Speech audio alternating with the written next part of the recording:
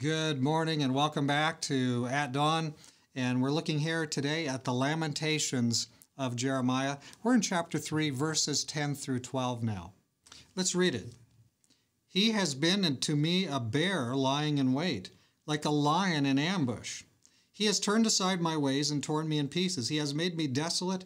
He has bent his bow and set me up as a target for the arrow. Now, I warned you at the beginning of this chapter that this is a very biographical chapter. We're getting some of these deep feelings of Jeremiah as he's seeking to be faithful to God, but very rough ride all the way through. In fact, only when you read Lamentations do you now, you can look back to those 52 chapters of the book of Jeremiah and you can see now a lot more how, how rough of a ride it was. I think we're getting that right here as he's he gives us a lot of history there, but over here he's he's just he's just naked, putting his heart in front of you naked and showing you how rough it the feeling was along the way.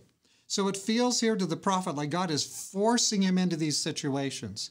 You know, after all, he didn't, it wasn't his idea to be a prophet, it was God's idea. He said, I, I decided that you would be a prophet. Now notice he says it's like it's like a bear or a lion and it feels pretty dangerous. I remember one occasion I was walking alone in the woods in northern Idaho, and I came upon Mommy Bear with her two baby cubs and she reared up on her hind legs and uh, was looking right at me and uh, was was not sounding at all very happy. Cubs were way up the tree already, almost instantly.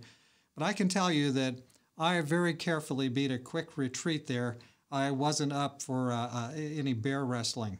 But you know what? Jeremiah says God has been like a bear laying in wait, like a lion, you know, ready to ambush him and he felt sometimes like his his life was at risk. And wasn't it? They put him on the bottom of the well. They, they, in every which way that they could have if they could have killed him they would have. They tried to kill him. You read the book of jeremiah.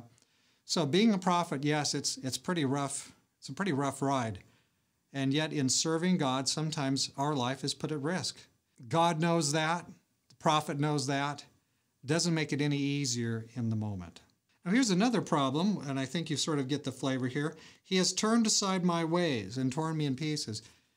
A lot of times we think that our plan for doing something is, is really good.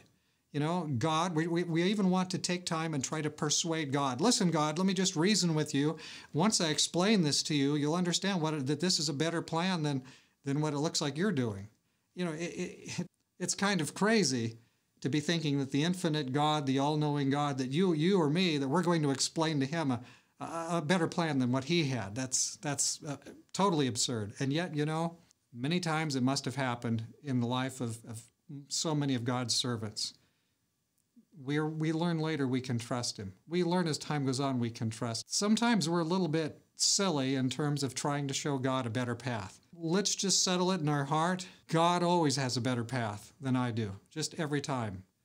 And it'll be the same for you. So we need to make sure we've really sought out his path with prayer and being in the word and, and being in this, his spirit. He will show us the successful way forward for the kingdom, and that'll also be always the successful way forward for you and me. So keep in mind a lesson here that working for God is a very special assignment, very privileged assignment.